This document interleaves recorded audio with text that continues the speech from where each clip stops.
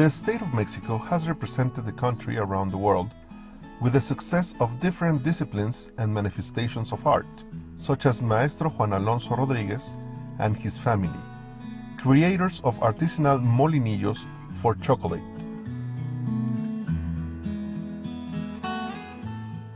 For four generations, the Alonso family has been perfecting the wood transformation technique into true pieces of Mexican art such as molinillos, placing their creations in different parts of the world, such as the United States, England, Germany, France, and Mexican kitchens. Yo soy la cuarta generación de artesano en Molinillo. Eh, mi bisabuelo, mi abuelo, mi papá. Mi papá fue el primer artesano que salió con el torno de violín fuera del país. Él anduvo eh, representando al municipio en diferentes partes, inclusive en el extranjero. At the age of 13, Maestro Juan Alonso had the vision of becoming a remarkable craftsman to convey his feelings and love for culture and his family through the transformation of wood. Tuve la inquietud de, de discúlpenme, pero no ser un artesano del montón, sino destacar. Destacar, eh, hacer cosas eh, darme el reto a mí mismo de hacer diferentes cosas. Their creativity, effort and years of work to make their way in an independent manner in the industry managed to project the talent of Alonso family in international venues such as the World Trade Center of Mexico City.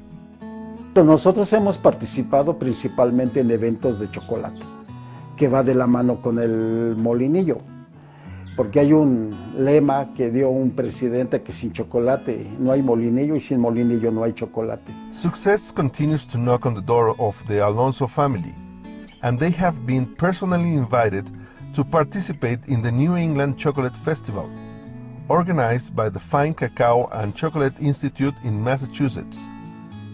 Tuvimos la fortuna de ser invitados a representar al municipio, al estado y al país a un evento a nivel internacional, que es en la Universidad de Harvard en Boston.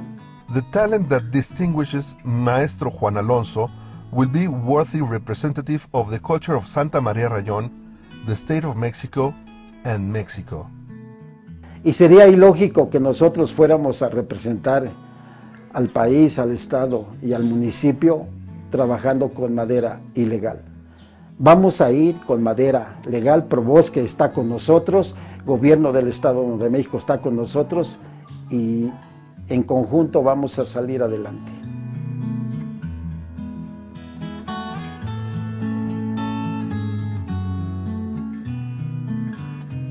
Edomex, decisiones firmes, resultados fuertes.